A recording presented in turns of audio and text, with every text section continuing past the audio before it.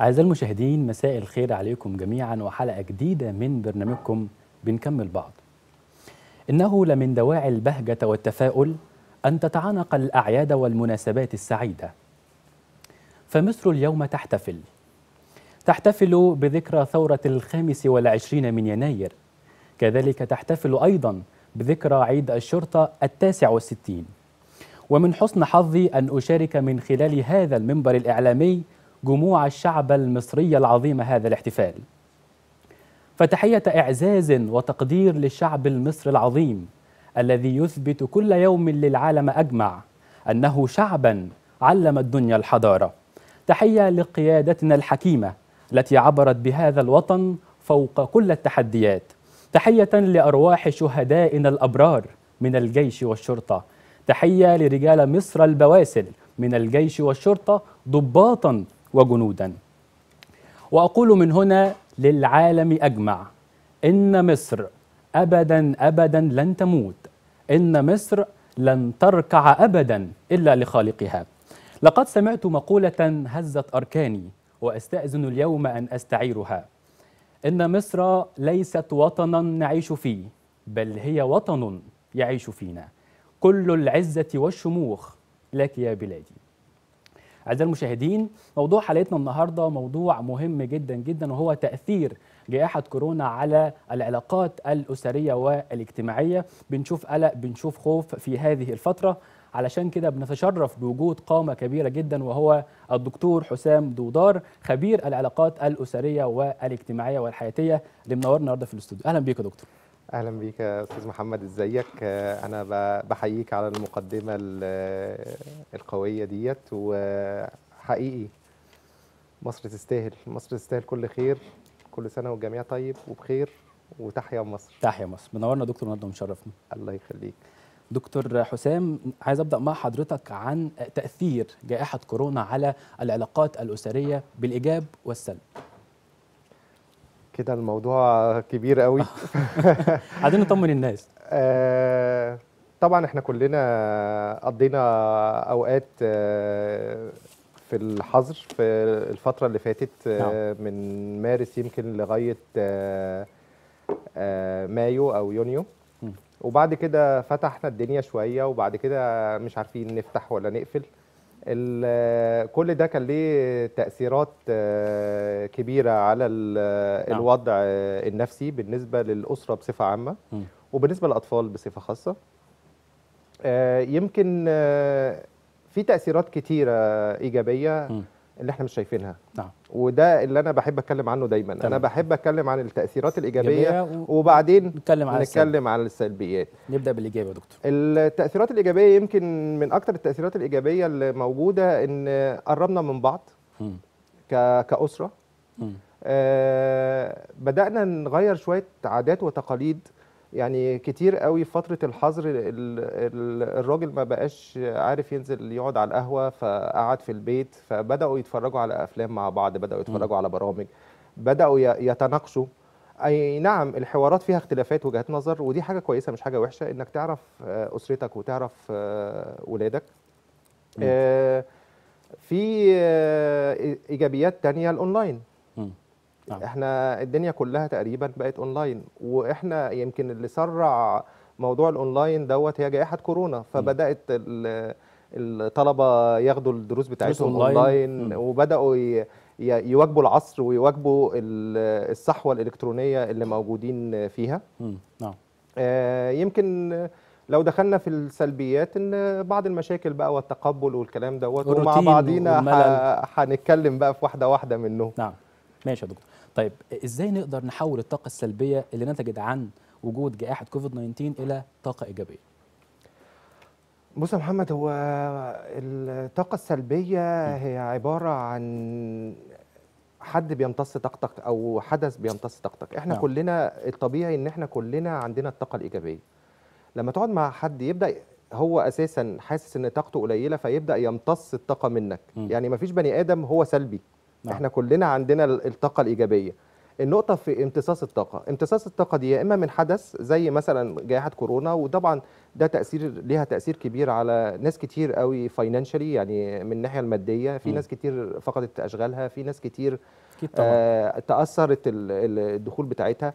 بس في نفس الوقت في ناس كتير قوي غيرت الكارير بتاعها. يعني بدل ما كانوا شغالين حاجة لأ مع الكورونا بدأ يفكر أنا يشوف شغل تاني بالظبط أيوة. شغلي كده اتعطل أشوف شغل تاني فهتلاقي الإيجابي موجود وال- والسلبي موجود مم. أهم حاجة إنك تعمل لنفسك آه، زي فقاعة كده بحيث إنك لما تقعد مع حد يمتص طاقتك أو يحصل حاجة تمتص طاقتك تبقى اوير يعني تبقى عارف إن هو بيمتص طاقتك فتبدأ لأ عامل حسابي بقى. أيوه بالظبط. مش هديك طاقتي. تمام يا دكتور. بس. شفنا ضغط نفسي كتير شفنا قلق شفنا توتر. عايزين نعرف الطرق. ما هي الطرق لتخفيف الضغط النفسي والقلق والتوتر الذي يعاني منه العديد من الأشخاص نتيجة جائحة كورونا؟ بص من ناحية الأسرة فطبعا الأب والأم عليهم ضغط كبير. هم مم. أساسا مضغوطين. نعم. بس لازم يتحكم في مشاعره ومشاعر القلق بالذات. عشان يبدأ يبث آه، الطاقة الإيجابية حتى ل- للأولاد الموجودين. للأولاد وللأسرة بصفة عامة. نعم. آه، إزاي ديت إن إحنا نبص لل- للجانب الإيجابي برضو؟ يعني إحنا طول ما إحنا بنبص للجانب الإيجابي هنلاقي إن في حاجات حلوة حاجات كويسة نقدر نحمد عليها ربنا. نتقبل الوضع. الوضع ده مش عليه مش عليك أنت لوحدك الوضع ده علينا كلنا. على العالم كله. شايفين ال- بالظبط. ونفس الأشخاص. يعني أنا مثلا تأثرت ماديا خلاص ماشي. بص حواليك ما الناس كلها تاثرت ماديا مم. آه أنا مخنوق وعايز أخرج ما الناس كلها عايزة تخرج بس يعني في. وسائل تانية آه، آه، ابدأ اقرأ ابدأ اتفرج على التلفزيون مم. آه وأهم حاجة بقى عشان تبعد عن الآثار السلبية إنك تبعد عن قراية الأخبار السلبية كنا برضو في شق موضوع الأخبار دوت آه. والشائعات طيب دكتور الأطفال إزاي نقدر نساعد الأطفال نفسيا للتغلب على الخوف والتوتر النفسي الناتج برضو عن هذه الجائحة آه زي آه، ما قلت لك الأطفال آه، ال- النقطة اللي عندهم مختلفين عننا إن هم over active يعني هم عندهم طاقة عايزين يطلعوها. ويتحركوا كده مم. آه بنبدأ بن آه، في البيت آه وقت دلوقتي ما, ما بيروحوش المدارس و وبياخدوا اونلاين أو أونلاين أجازة أو. whatever. فإحنا لازم نبدأ نخليهم ينشغلوا في حاجات تانية يمكن حتة الأونلاين ديت آه، اتكلمت فيها قبل كده إن ال- الأونلاين هو برضو بيعمل زي آه، تجميع أو socialization مع زمايلهم. ما أنت مم. لو قبل ال- آه، الدرس ما يبدأ نقعد خمس دقائق عشر دقائق نسلم على بعض في على الأونلاين هيبدأوا يعملوا relations نفس العلاقات اللي كانوا بيعملوها هم في المدرسة. تمام. وهو في البيت ما, ما نكبتهوش قوي. بلاش بقى يعني إحنا متعودين على نظام ومتعودين ان الطفل يقعد يذاكر ويقوم يتحرك ب... لا سيبه براحته شوية سيبه يجري شوية في البيت. خده انزل بيه في الشارع آه، لو في نادي خده النادي. آه، بلاش الأماكن المغلقة خليه في أماكن مفتوحة, مفتوحة. بس آه، خليه يطلع طاقته خليه يطلع النشاط اللي هو فيه لأن طول ما هو قاعد هيفضل ينكبت. يكبت يعني. النقطة التانية برضو إن الأطفال ممكن بقى دلوقتي آه، يشوف آه، آه، برامج ترفيهية يشوف آه، حاجات على اليوتيوب يتفرج على حاجات مفيدة. ده برضو يعني يكون في نبدأ إشراف ننظم- من الأهل على آه طبعا طبعا في هذه في طبعاً. هذا الموضوع. نعم. طيب لو جينا نتكلم عن التعايش كيف يمكن التعايش النفسي مع فيروس كورونا للمصابين والمحيطين بالمصابين؟ موضوع مهم جدا النفسية والتعايش النفسي مع هذا الموضوع بالظبط الحتة دي مهمة قوي والحتة دي ليها شقين مم. الشق الأول الشق النفسي والشق التاني الشق الروحي مم. يعني آه، ال- الكورونا مرض زي أي مرض مم. مهما كان يعني اجريسيف أو مهما كان إن هو جامد أو قوي بس هو مرض أنت بتتبع العلاج أو البروتوكول اللي محطوط وبتاخده. حصل لك بقى مضاعفات أو ما حصلكش مضاعفات فدي حاجة بتاعت ربنا. فالكونكشن أو الاتصال الروحي برب العباد مع اليقين إن أنت هتقوم بالسلامة هتعدي الفترة. وتعديها. بالنسبة للمخالطين ما يعاملوهوش إن هو يعني يعني موبوء أو أيوة. نبعد عنه أو لأ. قل لن يصيبنا إلا. ما كتب الله لنا. إحنا ناخد احت... اتعايش معاه بس. تاخد الإجراءات الاحترازية. الإجراء- بالظبط الإجراءات الاحترازية وتتعايش معاه تعايش عادي خالص وتديله السبورت. بالعكس ده أنت وأنت سليم قول له إن شاء الله هتبقى بخير. إن شاء الله ال- الموجة ديت يمكن من الم- المميزات بتاعتها إنها أقل حدة من ال- الموجة الأولى. هي بتنتشر بقوة بس حدة الأعراض أقل شوية. وشفنا كمان نسبة الشفاء دي حاجة برضو مبشرة ما تخوفش. أيوه طبعا. مم. الحمد لله الحمد لله يعني. طيب. آه، كنا بنتكلم دلوقتي عن الآثار السلبية لفيروس كورونا على العلاقات الأسرية. بيحدث أحيانا أو غالبا ملل وروتين في الأسرة أو بين الزوج والزوجة. كيفية التغلب على هذا الروتين والملل؟ بص هو ده طبعا أي كلام هقوله هيبقى كلام ثيوريتيكال. يعني إيه كلام آه، الناس كلها هتعتقد إن هو كلام مش هيتنفذ. نعم. بس فعلا آه، لو عملنا حضرتك بتكلمنا قبل الهوا بتقولي في حالة بعد تسع شهور من الجواز في أثناء فترة كورونا مش عايزين يكملوا مع بعض. بالظبط. هو بص هو أصعب فترة في الجواز هي أول سنة. مم. ففي ناس لسوء حظهم إنهم كمان جايين في السنة ديت السنة دي كلها كورونا. تمام. آه، يمكن آه، أهم حاجة في في العلاقات ال- الزوجية هي التفاهم والقبول. يعني مم. أنت كده كده أنا لما اتجوزت اتجوزت شخص تاني غيري. فلازم أتقبل إن هو شخص مختلف عني. أكيد طبعا. أبدأ أتقبل ال- الحاجات اللي فيه ولازم أبقى حاطط في دماغي إن مفيش حد كامل. أكيد طبعا. الكمال لله وحده. نعم. فلازم هتلاقي فيه عيوب وهتلاقي فيه آه، حاجات آه، أنت رافضها. نبدأ نتناقش فيها بالراحة بدون ما أحسسه بالدونية أو بدون ما ألومه. أنا الحتة دي مش عجباني أنا الحتة دي أنت لو تغير الحتة دي هنعمل هيبقى كذا كذا كذا. بص التواصل التواصل التواصل والتواصل الصحي هو مربط الفرس في أي علاقة إنسانية نعم. وخصوصا في العلاقة الزوجية. آه، لو هنتكلم عن الدعم النفسي ونخص بال- بالدعم النفسي كبار السن لأن إحنا عارفين إن هم بيبقوا أقل مناعة من الشباب وصغار السن. لو هنتكلم عن مدى أهمية تقديم الدعم النفسي لكبار السن وخاصة الذين يعانون من أمراض مزمنة بص هو نقطة كبار السن بصفة عامة هم أساسا بيبقوا في قلق من من تقدم العمر نعم. وقلق من الأمراض ال ال الكرونيك اللي هي الأمراض ال- اللي, اللي عندهم يعني ال- المزمنة. ف وإحنا دلوقتي ما, ما بنقدرش نروح لهم قوي زي الأول خوفا عليهم مم. بس للأسف هم بتفكيرهم في كتير قوي فاكرين إن إحنا ما بنروح لهمش عشان إحنا مش فاضيين عشان إحنا مش مم. مقدرينهم يعني فلازم ن- نبلغهم مم. إن إحنا فعلا مقصرين معاكم بس ده مش تقصير بسبب إن إحنا ناسيينكم أو بسبب إن إحنا مشغولين عنكم لأ ده عشان مصلحتكم إحنا هنحاول نجيلكم آه وقت نكونوا في مثلا جايين من البيت على هنا ما نكونوش في الشغل وجايين على هنا. آه تبدأ نكلمهم في التليفون باستمرار يوميا. مم. يعني لازم لازم أبقى معاهم على الأقل بالتليفون والزيارات طبعا بالإجراءات الاحترازية مهم جدا الكاملة موضوع الدعم لأن النفسي. ان إحنا كل ده بنعمله عشانهم فلازم نوصل لهم إن ده بنعمله عشانكم فعلا. نعم. ما نحسسهمش إن إحنا يعني بعاد عنهم لا إحنا إحنا بعاد بسبب الظروف مش بسبب إن إحنا ناسيينكم أو إحنا مش معاكم. دكتور لو هنتكلم عن آه، النظام الغذائي الصحي إلى أي مدى ترى من وجهة نظر حضرتك اتباع نظام غذائي صحي ومتوازن للتغلب على التوتر والخوف؟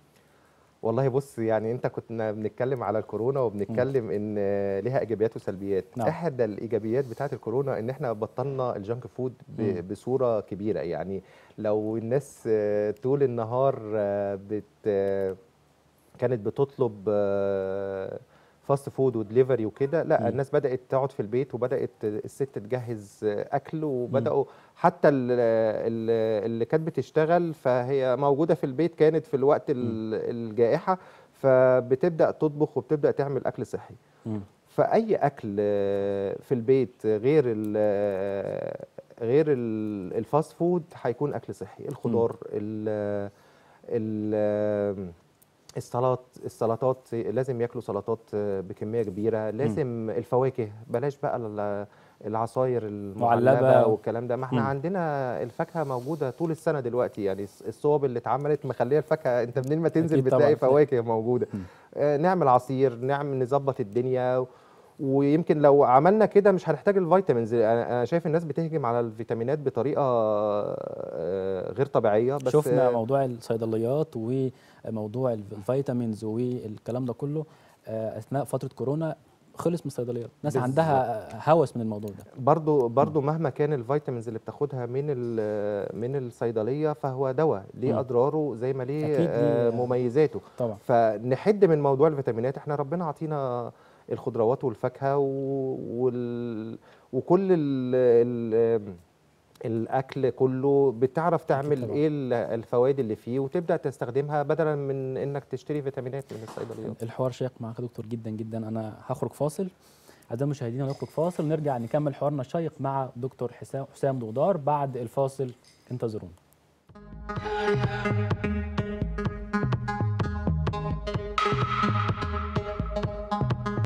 من وحي الطبيعة وبمصداقية وجودة عالية. وضعت مؤسسة الأمانة لعسل النحل بين يديكم أجود أنواع العسل الطبيعي لأن غذاءكم أمانة. تفحص منتجاتنا عبر المختبرات حتى تصل إليكم بأعلى المقاييس. صدق. أمانة وجودة. للتواصل مع مؤسسة الأمانة لعسل النحل الاتصال على 010 660 23 0 59 010 91 70 27 60 010 22 36 58 00 010 60 82 660 6 مؤسسة الأمانة موطن العسل الأصلي.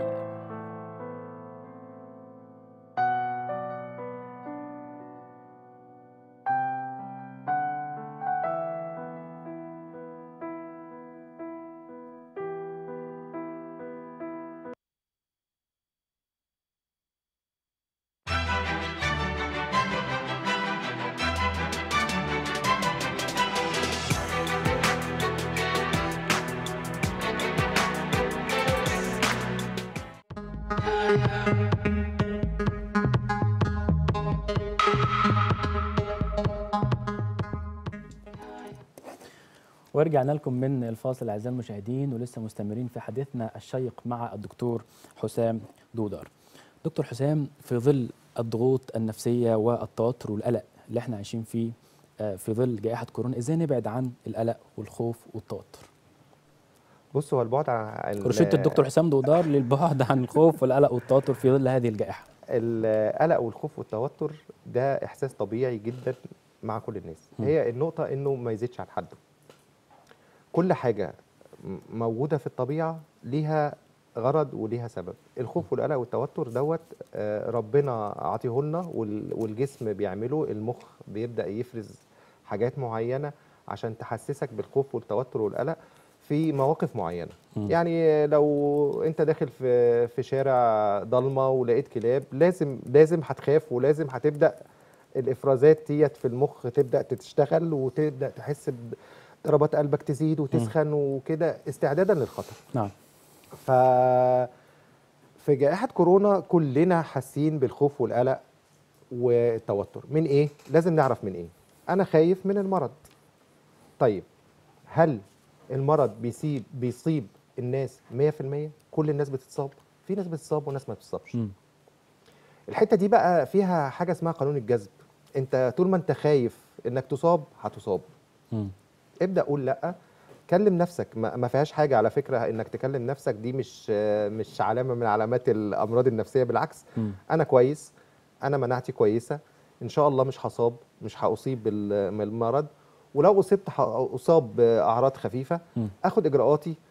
أقعد مع أصدقائي يبقى في التباعد ال- الاجتماعي. آه، كل حاجة بعملها بخلي بالي على نفسي فإن شاء الله مش هأصيب. هأصاب ولو أصبت هأصاب بدرجة قليلة.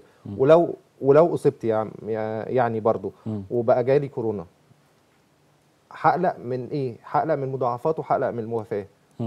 طب ما هو لكل أجل كتاب نعم أنت كده كده أنت يعني في ناس بت بيحصل لها الوفاة أو بيتوفاها الله من غير فيروس من غير. أي حاجة مم. وهو نايم على سريره.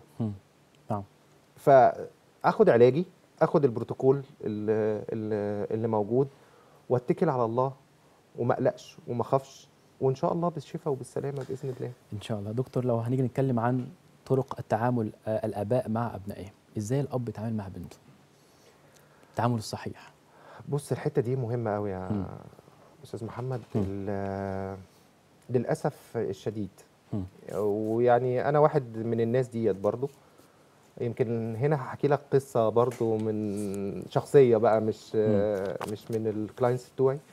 آه، إحنا كلنا آه، في علاقاتنا بأولادنا بنتخيل إن إحنا عبارة عن ATM. طول ما أنا مكنه فلوس وطول ما أنا بشتغل وبجيب لهم فلوس فمفروض إن أنا كده عامل اللي عليا.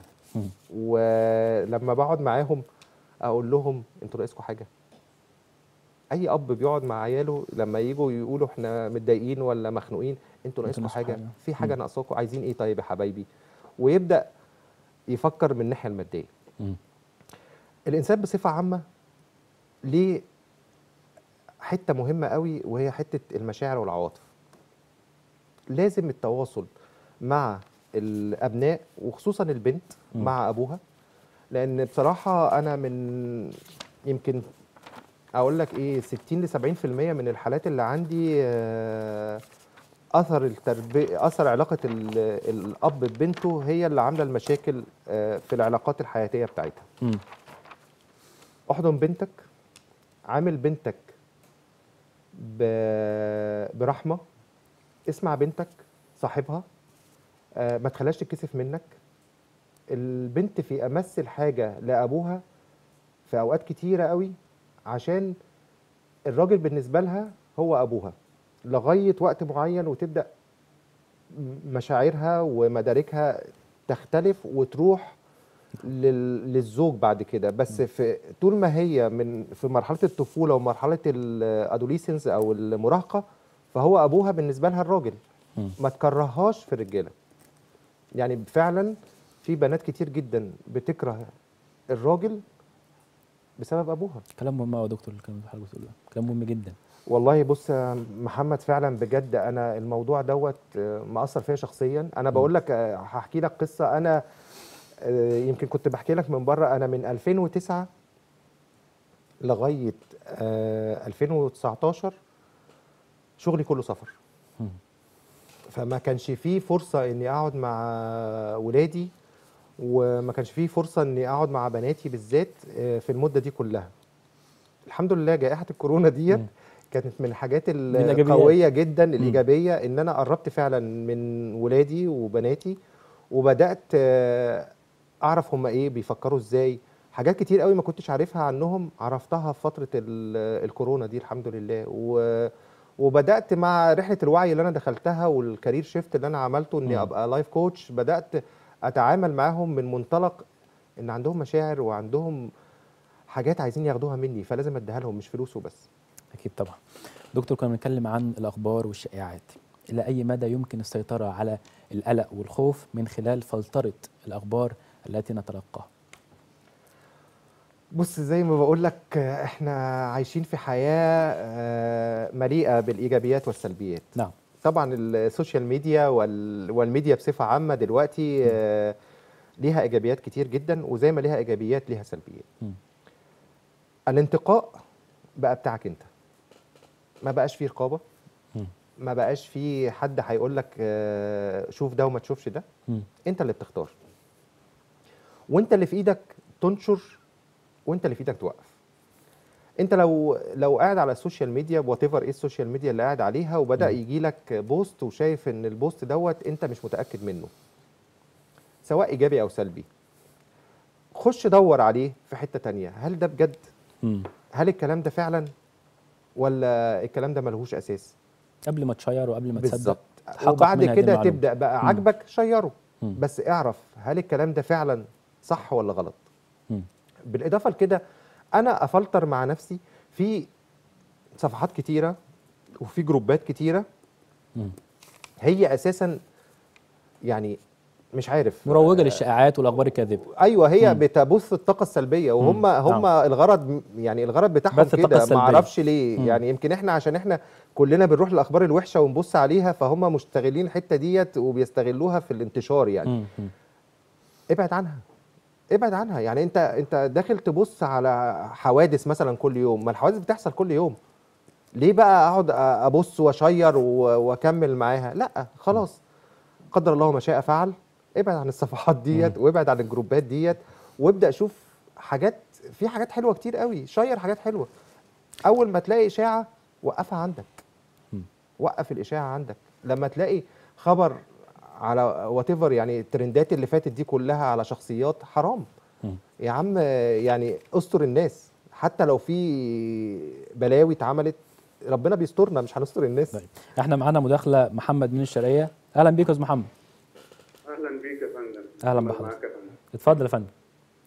يا فندم دلوقتي يا فندم أنا متزوج و- وزوجتي عندي اشتباك كورونا وسرطان. زوجتك جالها كورونا؟ آه يا فندم. امم تمام يا فندم؟ تمام. ورحنا للدكتور وقال حاجز وكده هي في المركز الحسنية اللي كان فيه مقاعة اكسجين وكده. رحنا. تم حجرها منزليا آه منزليا تمام. تمام. وبالنسبة للناس عرفت والناس بتطلع إشاعات وتفصي جنب البيت ويشوفونا كده في الشارع نظرات غريبة. امم والمعاملة كده في ال- في البلد كلها كده معاملة وحشة. الواحد. مش عارف الناس مش قابلة الموضوع للواحد كده يعني. كأن. الواحد آه، من ملة تانية وكده. عارف أتعامل إزاي معاهم؟ محمد معلش يا محمد أسألك سؤال. آه بيعاملوك معاملة وحشة إزاي؟ بالنظرات آه، تيجي تقابل حد مش يرضى يقابلك ولا يبص عليك ولا حد لما عرفوا الموقف ده يعني. والواحد مش في حاجة هم هم بي يعني انت اللي شايف نظراتهم كده يا محمد. محمد ثق في نفسك وتأكد ان بالعكس الناس كلها هتبقى متعاطفة معاك.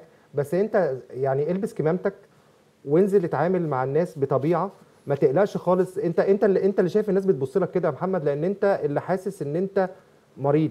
لو حد كلمك أو حد آه، يعني بدأ يقول مثلا ابعد عني أو كده أقول له ليه؟ أنا لابس كمامتي وأنت لابس كمامتك ومفيش مشاكل. يا جماعة إحنا عايشين مع بعض. ده أنا لابس الكمامة ولابس الجوانت والله ما بطلع فيهم الحمد لله. بص آه، ما تفكرش في الحتة دي خالص وابعد موضوع إن الناس بتبص لك بصة غريبة أو بتبص لك إن أنت آه، مختلف. ثق في نفسك. وتعامل مع الناس بثقة.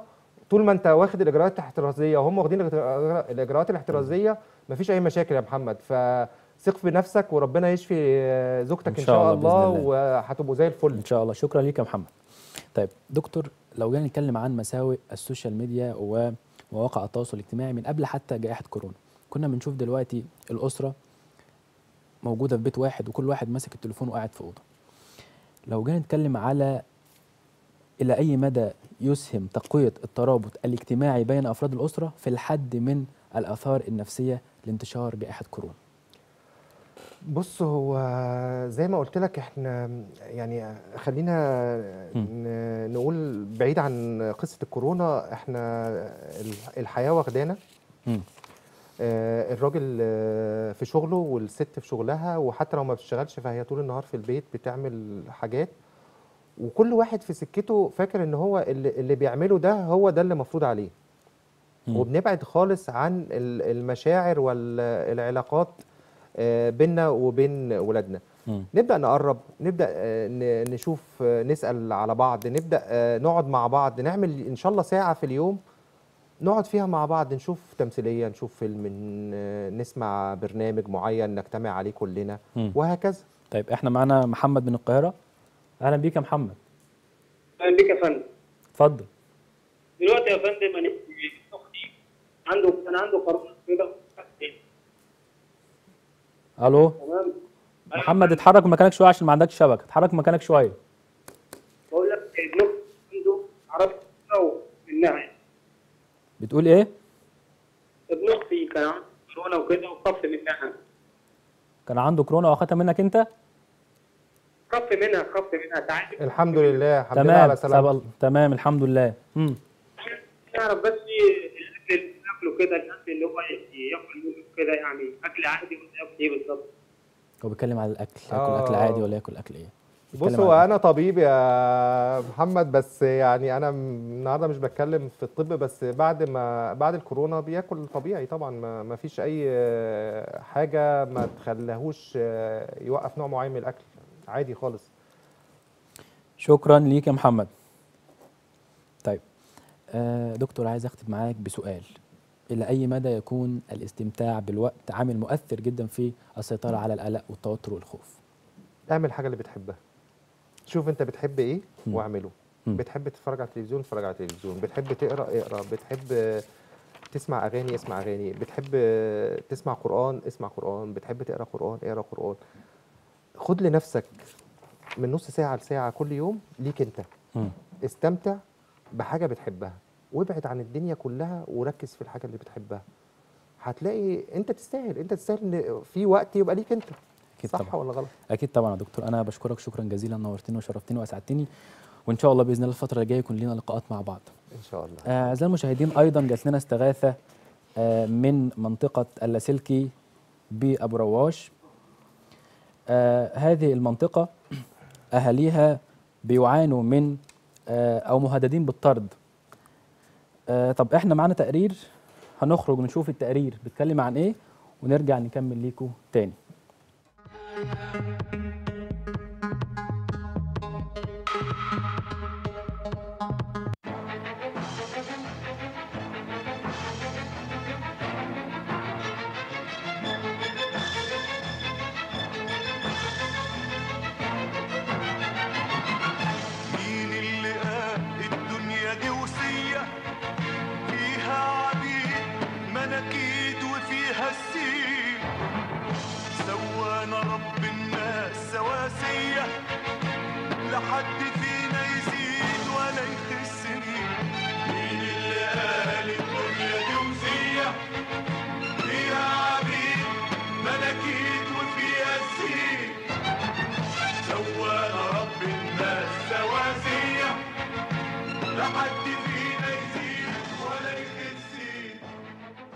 فندم ما كانتش الشركة المصرية للاتصالات كانت الهيئة القومية للاتصالات وزارة الاتصالات.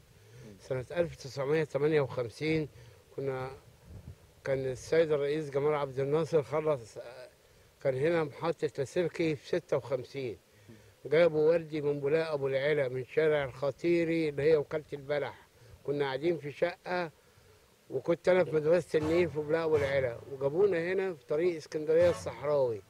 قعدنا من سنة 58 نقاسي كنا مكان القرية الذكية وجه الدكتور آه، نظيف قال لنا أنا عايز أعمل هنا قرية هتشغل ولادكم وتشغل الناس اللي هم بطالة وعندنا البطالة كتير وكده.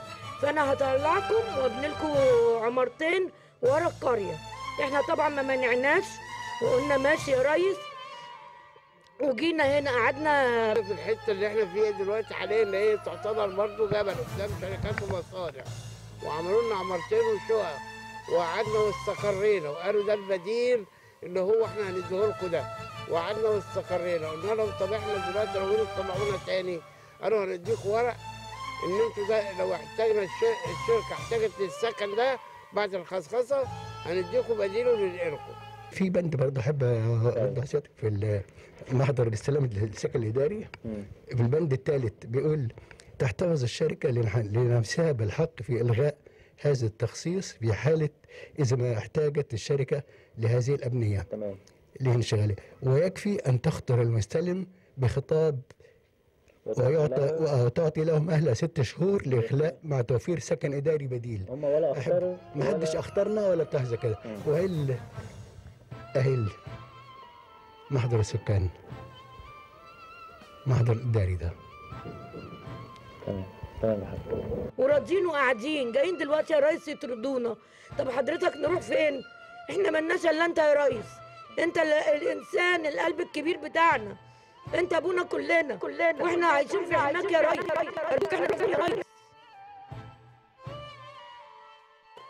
يا ريت في بديل لو عايزين المكان ومحتاجينه على عينينا إحنا نفسنا يا فندم عينينا لمصر وعينينا لاي مشاريع جمهوريه مصر العربيه يا ريت يا ريت يا ريت يبص يبصلنا بعين الرحمه وادينا عايشين يا فندم دلوقتي الواحد بقى عنده سكر وعنده ضغط وعينيه بقى هنروح فين هنروح فين هنروح فين مكتوب في العقد اللي إحنا مستلمين بيه الشقق إن لازم يختارنا قبلها بست شهور مع تواجد البديل مع توفير سكن بديل لينا لأن إحنا عمرنا كله هنا ما حدش فكر إن هو وما فيش فلوس إن إحنا نجيب شقة في مكان تاني ونقعد في مكان تاني. بتيجي الجان وبنبقى موجودين ويكتبوا إن إحنا مش موجودين. أنا ببقى في المستشفى بجيب دوايا بيكتبوا في الورق إن أنا مش موجودة. الظلم حرام. فيعني زي ما حضرتك شايف إحنا في أطفال وفي ناس أرامل وفي معاشات وناس معديه ال 60 وال 70 سنة وفي ناس صك وقاعدة في شققها فالناس دي هتروح فين؟ يعني هنعمل إيه؟ وهنترمي في الشارع. وطبعا إحنا مش قد الشركة مسؤوليه اتصالات. يعني إيه، هتبقى جهة أو شركة كبيرة محترمة قصاد أفراد أفراد. مهما نعمل عشان نعرف نحقق فإحنا بعد رب فإحنا بعد ربنا ملناش غير السيد الرئيس عبد الفتاح السيسي اب المصريين وهو اللي بعد ربنا هيقف معانا. أروح فين؟ جيبوا لنا طب بديل. ماشي جيبوا لنا بديل عجبتكم الحتة أو عايزين تاخدوها؟ جيبوا لنا بديل. رد- ردوا لنا عمرنا اللي راح. ردوا لنا حياتنا اللي راحت. ردوا لنا عشتنا اللي باظت. اللي باظت. إحنا قابلين بأي حاجة. قابلين بأي حاجة. بس عوضونا. عوضونا. اناشد السيسي. هو في حد أكبر من السيسي في الحتة؟ لأنه هو صراحة قلبه كبير. وبيخاف على الستات. وبيحافظ علينا. أنا بناشده بناشده بقول له لازم تقف جنبنا. اقف جنبنا في سننا استنونا اما نموت استنونا اما نموت بناشده أنا عمري كله فنيته هنا. فنيته عند قرية ذكية. ما ينفعش إن أنا أمشي. حرام. ربنا ما يرضاش بالظلم أنا بلاشدك يا ري... يا ريس. بلاشدك يا يا أبونا وأخونا وكل حاجة لينا. اغثنا اغثنا أغثنا يا سيادة الريس. أنا ماليش في مصر إلا أنت. إحنا اتربينا على التراب ده. إحنا كنا بنلعب اطفال والدنيا كانت ضلمة. كانت الأرض مليانة تعابين وعقارب. أنا مش هقدر أقول لك اغثنا اغثنا اغثنا وممكن مع والدتي مريضة عم- عم- عاملة بطل رجليها بسبب السكر. تمام؟ أنا دلوقتي عايزه وعيانه ومريضة وقاعدة والشركة بعتلي طلب. أنا اعمل إيه دلوقتي؟ أنا بترى رجلي. عندي بتر وقاعده أنا وابني. أروح فين؟ وليش مكان تاني أروح فين؟ أروح فين؟ طلبت ما نمشيش من هنا. ما لناش مكان تاني نروح نقعد فيه. لو لنا مكان تاني كنا إيه اللي يرمينا على هنا بس. وراحوا قالوا لنا هتاخدوا شقق عشان إحنا محتاجين المنطقة دي. طلعنا مفيش مشاكل. ما قلناش لأ. ما بعد كده توصلوا لمرحلة تقولوا لأ اطلعوا خالص. لأ طب نروح فين يعني؟ إحنا عشنا حياتنا هنا خلاص. ورضينا باللي إحنا ما فيش مواصلات. وبرضه حاليا ما فيش مواصلات برضه. بنضطر نركب مع الموص... مع العمال في الأتوبيس الباكي بتاع رواش أي حاجة أي أي مصنع من المصانع اللي حوالينا دي بنركبها وخلاص. ارحموا ما في الأرض ارحمكم ما في السماء. ارحمونا وشوفونا هنعمل إيه. هنروح فين هنروح فين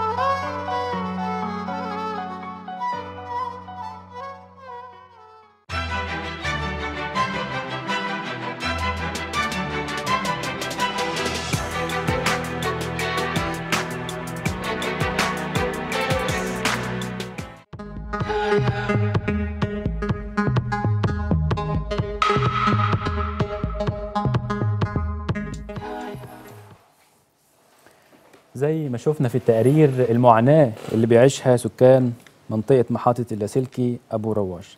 طيب إحنا معانا على التليفون سيادة المستشار فرج عزيز. أهلا بيك سيادة المستشار ألو؟ أيوه باشا ازي سعادتك؟ أهلا بحضرتك. بخير. أخبار حضرتك إيه؟ آه. الحمد لله تمام زي الفل. يا رب دايما. سيادة المستشار عايزين نعرف من حضرتك آه، حقوق الناس دي وفقا للقانون. هو أنا أنا أتعرض عليا الموضوع ده أكتر من مرة لأن دي, دي مشاكل الشركات اللي تم خصخصتها وخرجت من النطاق العام إلى إلى شركات المساهمة. نعم. كان كان المعتاد في القطاع العام إن هو بيضفي حماية للعامل فكان مصدر الحق بالنسبة لهم في سكن بديل كان بيبقى حاجتين.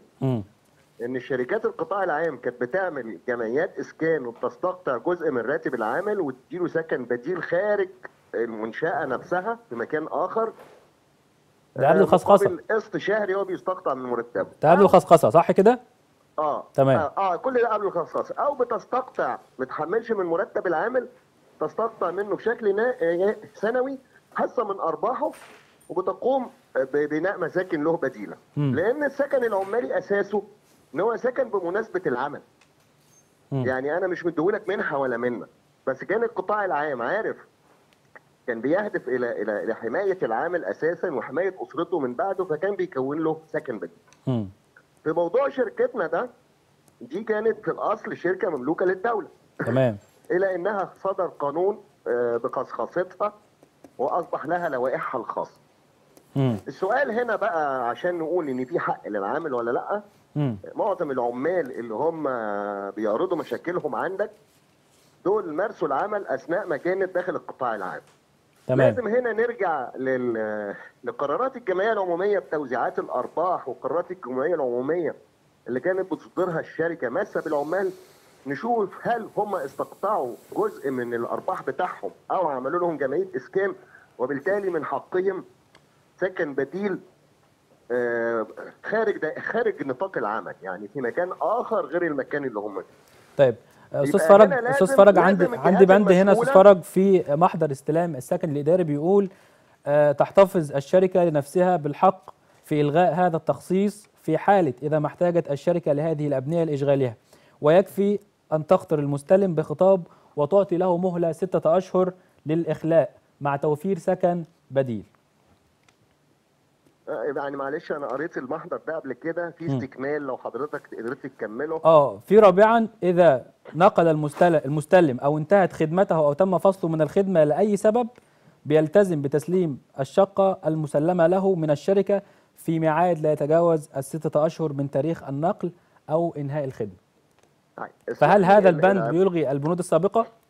آه العبارة دي العبارة دي ولدت في ظرف إن أثناء نقلهم من مكان لمكان كان في حضور آه، أحد القيادات في الدولة تقريبا رئيس الوزراء.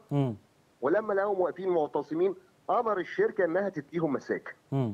هم علشان الشركة مش عايزة تدي حقوق عمالها فالتفتت على حقوقهم بالفقرة الأخيرة دي.